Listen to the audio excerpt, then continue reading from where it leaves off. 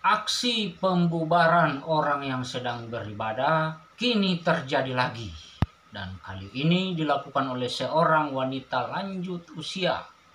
Yang katanya wanita itu seorang ASN alias aparatur sipil negara.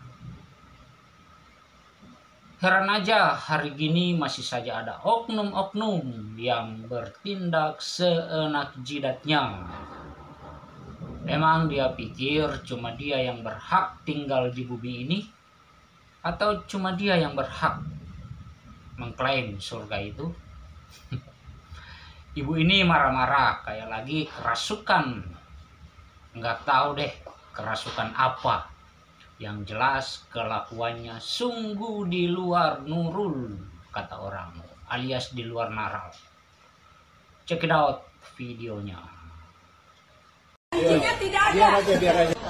Tapi itu Bapak bisa lihat.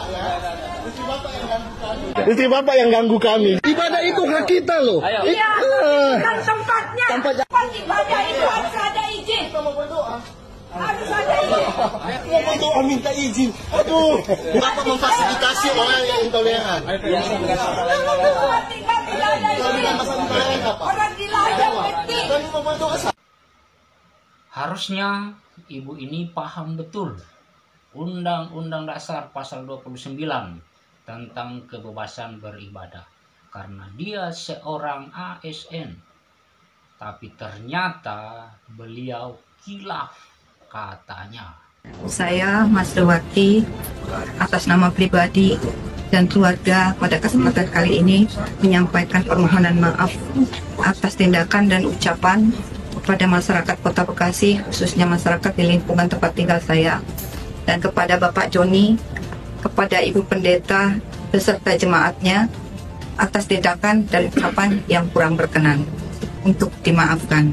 Setelah viral, seperti biasanya dengan mudahnya ibu ini berkata, "Maaf, maaf, dan maaf."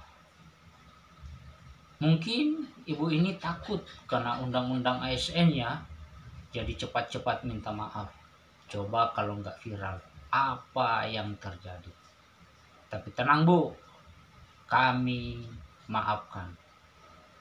Mari kita ciptakan kerukunan umat beragama di bumi Nusantara ini yang begitu kita cintai. God bless you.